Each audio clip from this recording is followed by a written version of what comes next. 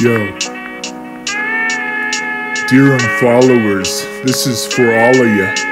I got nothing but love for you. I wish you well on your Instagram journey, and because you clicked the button, I haven't gone into mourning.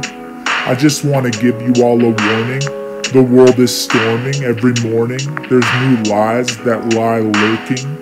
The devil's working to keep the general public shrouded in uncertainty. The media is also working to create hysteria and build up barriers between a man and his neighbor. That's why you're so quick to dismiss, and that's probably why you got your nose up in everybody's business. Telling the truth is a risky business in this modern age of political correctness. When you feel like your patience is being tested every time you hear an idea that wasn't left side sanctioned, that might be a good indication that you've been subject to the state's indoctrination. I'm not hating, I'm just saying you can be free today, man.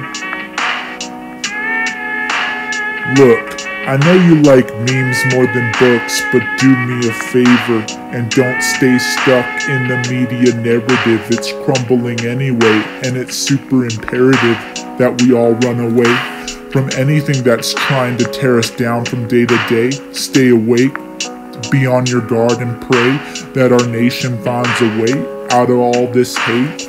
Many say that what I preach is hate speech that gives them the right to go and say things that I would never even dream of saying. Full of slander and cursing and crude things, so angry. Listening to rap music that's straight up scary. Talking about using women and murdering. But when I say a single solitary fact and slow down my voice on a wholesome track, the whole world thinks it's whack. They laugh and say things behind my back. But I still got love and forgive them. But that doesn't mean what they did is okay, man.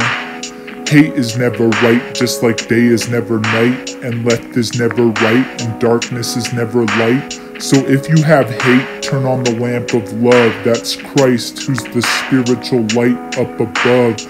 He's calling to a world that's falling into the pattern of all things that have been already and are already always.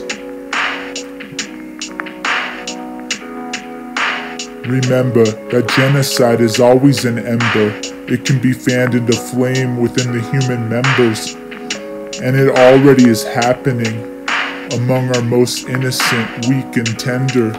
So, as you consider the words that I deliver, try not to shiver because you got triggered, but add up all the figures and you'll start to see a picture of authoritarianism is being captured and factor that in the next time you choose to attack my words.